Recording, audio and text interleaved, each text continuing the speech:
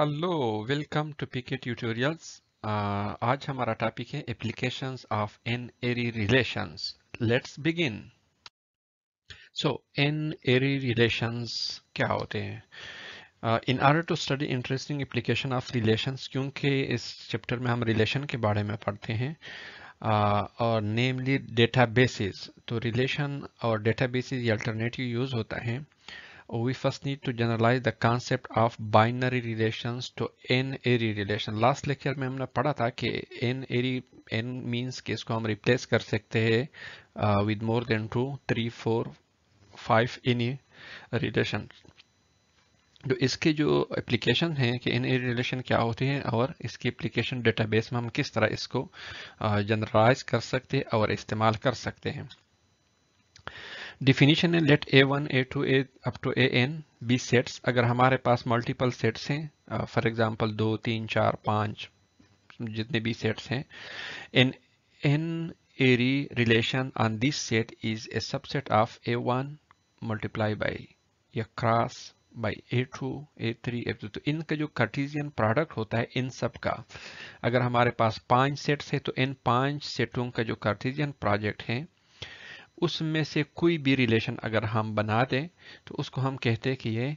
N एरी relation है। तो अगर फाइव सेट है तो हमारे पास five ary five ary relation बनेगा। ये उसका डिफिनीशन है।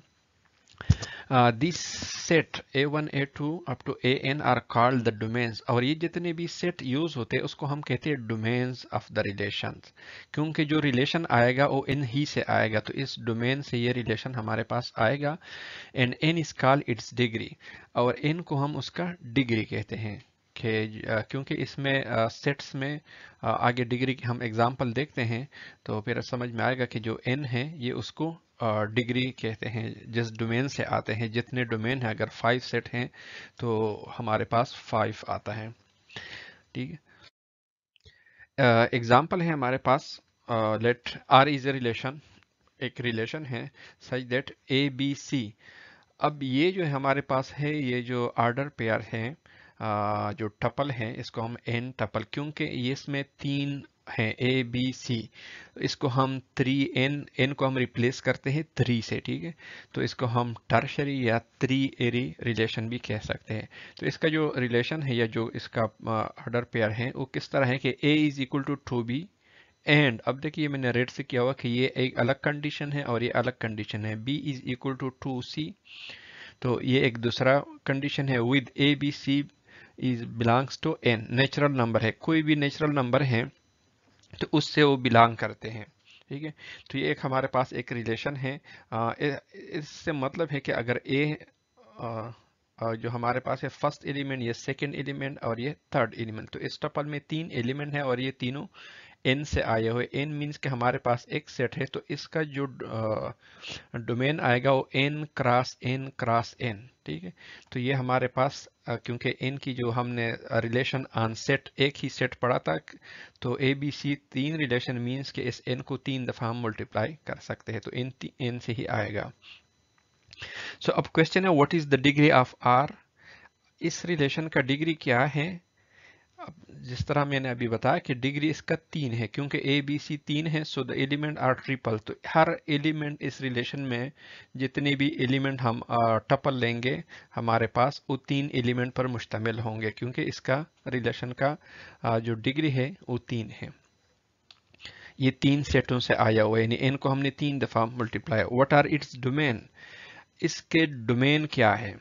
It domains are all equal to the set of integers क्योंकि ये एन उसने दिया हुआ है कि ये हमारे पास नेचुरल नंबर है तो इसका जो डोमेन है all equal to the set of integer जितने भी इंटीजर्स हैं नंबर्स हैं हमारे पास नेचुरल नंबर हैं, उसका जो होगा, ये उसका डोमेन होगा। अब कोई भी one two three four five six seven eight ये सारे हो सकते हैं। अब क्वेश्चन है एग्ज़ाम्पल इसी एग्ज़ाम्पल क्या आ है कि is two four eight in R अब देखिए, ये हमें वैल्यू दिए गए कि किया? दो, चार, आठ, ये इस रिलेशन में बिलोंग करते या नहीं? ये इसका टपल है कि नहीं? ये जो ऑर्डर पेयर है। अब देखिए टू फोर एट ये हमारे पास नेचुरल नंबर तो है बट इस रिलेशन में हमें कंडीशन दिया गया हुआ है। इस कंडीशन को हमने चेक करना है कि आया है कि नहीं है। अब देखिए टू को अगर इधर फ़र्स्ट एलिमेंट जो है, ये हमारे पास टू है ए है, ये बी है, ये सी है। तो इस कंडीशन को देखे अगर फ़र्स्ट टू है तो बी हमारे पास फोर होगा तो फोर मल्टीप्लाई बाई टू ये ए हमारे पास एट आएगा। अब ये फ़र्स्ट इस कंडीशन को सेटिस्फाई नहीं करता, और इधर हमारे पास एंड ऑपरेटर है। अगर आर होगा तो दोनों में से एक ट्रू होना चाहिए, क्योंकि हमारे पास एंड ऑपरेटर है, जो हमने लॉजिकल ऑपरेटर पढ़े थे। दोनों ट्रो होने चाहिए। तो लिहाजा ये हमारे पास रिलेशन इस आर का ये जो टपल है, ये इसका नहीं है। क्योंकि ए हमारे पास टू है बी फोर और सी हमारे पास एट है। अगर ये वैल्यू प्लग इन करें इस इक्वेशन में, दोनों कंडीशन में तो ये हमारे पास फॉल्स होता है। इसी तरह बी को अगर सी को इसमें इंटर करें तो सी इंटू टू यानी एट इंटू टू सिक्सटीन आएगा। तो बी हमारे पास सिक्सटीन नहीं है फोर है। तो ये रॉन्ग है। इसी तरह four two one in R अब क्वेश्चन है कि फोर टू आर इसको हमने, अब पहले तो आप चेक करिए, तीनों जो है, ये हमारे पास नेचुरल सेट के इंटीजर्स हैं तो इसी डोमेन से बिलोंग करते हैं। अब देखिए फोर ए हमारे पास फोर है बी हमारे पास टू है तो टू को टू से मल्टीप्लाई फोर ए आता है ठीक है एग्जैक्टली exactly. इसी तरह बी को करें बी हमारे पास टू है और सी वन है तो अगर सी वन इंटू टू करे तो हमारे पास टू आता है यस ये अब बिलोंग करता है इस रिलेशन से ठीक है? क्योंकि अगर ये वैल्यू ए की four B two C is equal to one इस कंडीशन में प्लग इन करे तो हमारे पास ये दोनों कंडीशन ट्रू होते हैं। सो so, लिहाजा ये इस रिलेशन का है। तो ये हमारे पास इन एरी का फ़र्स्ट एक एग्जांपल था कि हमने तीन सेटों से ले लिया। यानी एक ही सेट था, उसको तीन दफ़ा नेचुरल नंबर रखा और ये उसका एक रिलेशन है। तो ये थ्री एरी रिलेशन हम इसको कहते हैं, ठीक है? एन को अच्छा इसकी जो एप्लीकेशन है रिलेशंस का जो एन एरी है, ये ज़्यादातर डेटाबेस में यूज़ होता है क्योंकि रिलेशन और डेटाबेसेस ये सेम पैरेलल चीज़ें हैं। Let us take a look at type of database representation that is based on relations क्योंकि database जो बनता है वो relations के बेस पर बनता है नेम relational data model जिसको हम कहते हैं relational data model डेटाबेस के सब्जेक्ट में पढ़े होंगे या पढ़ लेंगे नेक्स्ट तो रिलेशनल डेटा मॉडल क्या होता है उसमें रिलेशन यूज़ होते हैं तो रिलेशन किसको कहते हैं बेसिकली डेटाबेस में या टेबल्स होते हैं डेटाबेस अब डेटाबेस क्या होता है? Consist of n tuples database में बेसिकली एन टपल्स होते हैं कार्ड रिकॉर्ड्स उसमें उसको कहते हैं रिकॉर्ड्स ठीक है? रिकॉर्ड्स uh, कहते हैं which are made of fields और वो फ़ील्ड से बने होते हैं। ठीक है? This field are entries of the n tuple और ये जो फील्ड्स हैं, ये हमारे पास इस एन टपल के इंट्रीज होते हैं। किस तरह? क्योंकि रिकॉर्ड कहते हैं रो को और फ़ील्ड कहते हैं कॉलम को। नेक्स्ट हम इसके एग्ज़ाम्पल लेंगे टेबल में, फिर थोड़ा सा मजीद क्लियर हो जाएगा। The relational data model represent a database as a n ary relation जो रिलेशनल डेटा मॉडल होता है वो डेटाबेस को किस तरह रिप्रेजेंट करते हैं? एन एरी रिलेशन ठीक है? That is a set of records ये सेट ऑफ़ एक रिकॉर्ड्स uh, का सेट होता है। सो so, एग्ज़ाम्पल हम लेते हैं फिर इससे क्लियर हो जाएगा जो हमने अभी तक पढ़ा। Consider a database of students एक स्टूडेंट का डेटाबेस है uh, है। Whose records are represented as a four tuples तो उसमें चार टपल हैं फोर टपल्स जो एन है, वो हमारे पास रिप्लेस्ड हो गया कहाँ से? फोर से.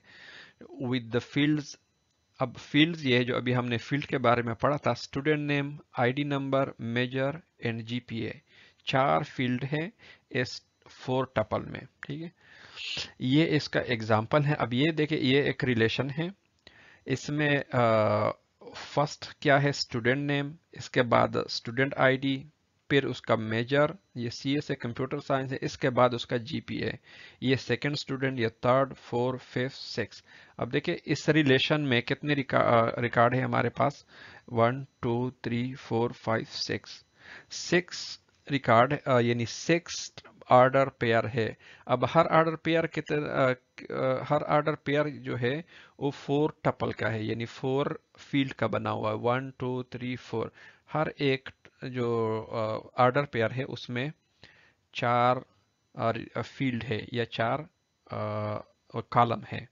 ठीक है? तो इसको हम कहते हैं रिलेशन इसका जो relation use to represent database are also called tables जब आप डेटाबेस पढ़ेंगे तो उसमें टेबल्स ही होते हैं सारे। उसमें इस तरह की रिलेशन और इस तरह की ब्रैकेट में या सेट में हम नहीं रिप्रेजेंट करते तो नॉर्मली उधर हम टेबल में ही रिप्रेजेंट करते हैं सारा डेटा अब यही जो रिलेशन हमने किया अभी लास्ट स्लाइड में, उसका टेबल किस तरह बनेगा? अब देखिए student name ID number major और जीपीए और इधर हमने उसमें डेटा डाल दिया जो जो स्टूडेंट नेम्स हैं आईडी नंबर जो छः रिकॉर्ड थे हमारे पास, इसको टेबल की शक्ल में इस तरह हम लिख सकते हैं। अब ये टेबल जो है हमारे पास, इसको हम टेबल भी कह सकते हैं और इसकी ज़बान में हम रिलेशन भी कहते हैं कि ये एक हमारे पास, इसको कहते हैं रिलेशनल डेटा मॉडल डेटाबेस में।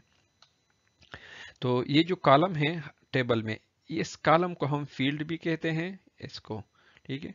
और जो रो होता है, ये एक कंप्लीट रो, इसको हम टपल कहते हैं या रिकॉर्ड कहते हैं, एक record second record third record इस तरह।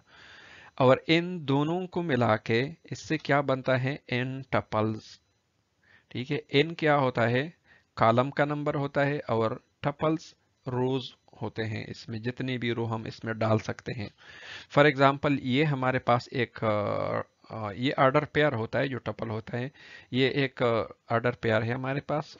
फ़र्स्ट स्टूडेंट नेम फिर आईडी नंबर फिर मेजर फिर जीपीए अब ये हमारे पास क्या है? फोर टपल्स हैं। इसको हम फोर टपल्स के नाम से, क्योंकि वन टू थ्री फोर इसमें चार फ़ील्ड है, ठीक है? तो इसको फोर टपल्स कहते हैं। और इस तरह ये जो रिकॉर्ड आते हैं, हर रिकॉर्ड फोर टपल का होगा। यानी हर रिकॉर्ड हर रो में चार डिफरेंट इंफॉर्मेशन होंगे या चार डिफरेंट फ़ील्ड होंगे। अच्छा प्राइमरी की क्या होता है? डेटाबेस uh, में ज़्यादातर डिटेल से पढ़ेंगे practically a domain of an n ary relation is called a primary key if the n tuples are uniquely determined अब देखिए इसमें वर्ड आया है यूनिकली का कि ये यूनिकली डिटरमाइन हो। Determine by their value from this domain इस डोमेन से ये यूनिक हो। जब यूनिक होता है तो उसको हम कहते हैं कि ये प्राइमरी की है। This means that no two records इसका मतलब क्या होता है यूनिकली का? Have no two record have the same value from the same primary key क्योंकि प्राइमरी की में हम रिपीटिशन नहीं होता है। दो रिकॉर्ड एक जैसे दो दो एक कंप्लीट रो होता है, जो हमने अभी देखे, ये दोनों सेम नहीं हो सकते। एटलीस्ट उसके वन फ़ील्ड में कोई डिफरेंस होगा। लास्ट uh, एग्जांपल uh, में जता उसमें हम देखते हैं कि primary key which of the field student name ID number major and GPA are primary keys अब कौन से फ़ील्ड है जो प्राइमरी की हो सकते हैं? अब देखिए ये हमारे पास टेबल था। uh, इसमें क्योंकि रिपीटिशन नहीं होना चाहिए अब इसको हम one by one first student name देखे, ये है एकरमैन, ये एडम्स चो, गुड फ्रेंड राव स्टीवंस। अब इसमें कोई रिपीटिशन नहीं है, ये स्टूडेंट नेम जो है, ये प्राइमरी की है। आईडी नंबर देखे, आईडी नंबर में कोई रिपीटिशन नहीं है, ये भी प्राइमरी की है। अब कंप्यूटर साइंस देखे, ये दो दफ़ा इधर जाके रिपीट हुआ है, इधर भी है और इधर भी है।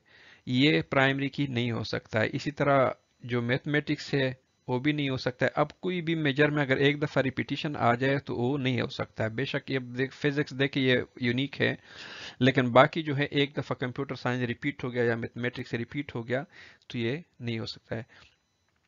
इस तरह देखिए ये जीपी है 3.88, 3.45, 49 अब देखिए ये 3.45 यानी दो स्टूडेंट का जीपीए सेम हो सकता है तो इसमें भी रिपीटिशन आ सकता है तो ये प्राइमरी की नहीं हो सकता है।